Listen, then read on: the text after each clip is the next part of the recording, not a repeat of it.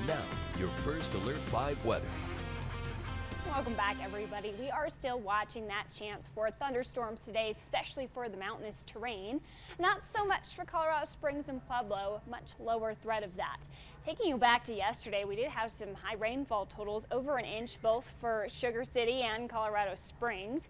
Penrose picking up just under one inch of rainfall. Woodland Park just over a half an inch, and La Veta Pass under half an inch of rain, but we saw the effects that had on the spring burn scar. So any thunderstorms we see in that area have the potential to cause some flooding conditions. Right now, Colorado Springs, we're starting to see those clouds develop over the mountains. Again, we are still seeing sunshine and warmth at 72 degrees right now. 34 on Pikes Peak and look at the really interesting clouds we can see here. I love this camera view of the bubbly cumulus with some of the ragged edges there showing some of that light rain shower activity. And also in Woodland Park, you need to be on alert for some showers and thunderstorms later on this afternoon. Uh, but generally, Colorado Springs, Pueblo looking better today. Pollen counts are up there, moderate for mold, grass, high for trees. So you will want to maybe have that allergy medicine handy if you want to catch some side out some time outside today.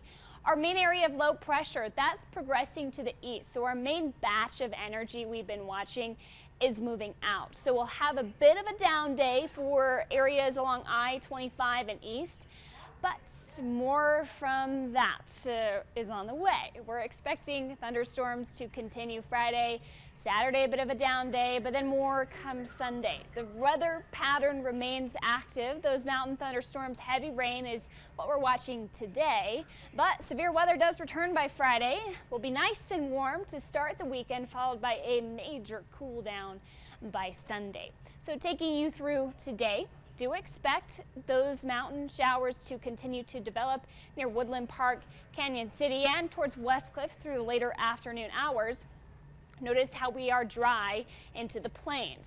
These will continue dropping maybe some small hail, some light to moderate rainfall through your evening hours and heading further south. Again, La Veta, you could see another round of showers, some possible flooding by later this evening. We do not have a flash flood watch though in place today, so hopefully that will remain fairly limited.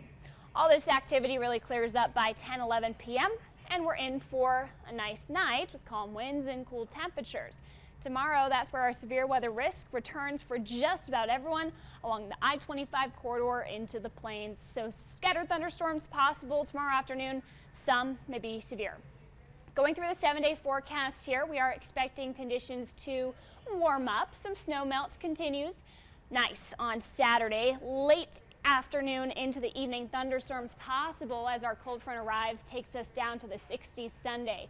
Pueblo, you can expect to make it to the 90s by Saturday, and again, about 20 degree cool down by the end of the weekend. The day to go outside, catch some rays, will be Saturday this weekend.